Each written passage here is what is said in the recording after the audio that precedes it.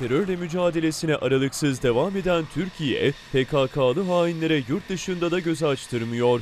Anlık bir istihbarat alan Türk Silahlı Kuvvetleri, Kuzey Irak'a hava harekatı düzenledi.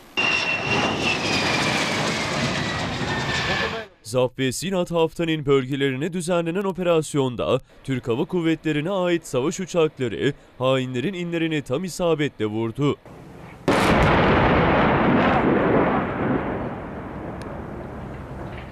Hava harekatı sonucunda terör örgütüne ait iki silah mevzii yerle bir edildi. Operasyonda ayrıca 3 terörist öldürüldü. Operasyonun ardından görevlerini başarıyla icra eden savaş uçakları emniyetli bir şekilde üstlerine döndü. Öte yandan Genelkurmay Başkanlığı 6 Ocak'ta Kuzey Irak'a düzenlenen hava harekatı ile ilgili açıklama yaptı. TSK'nın açıklamasında hava harekatında 11 hedefin imha edildiği hatırlatılarak operasyonda ayrıca 11 teröristin de öldürüldüğü belirtildi.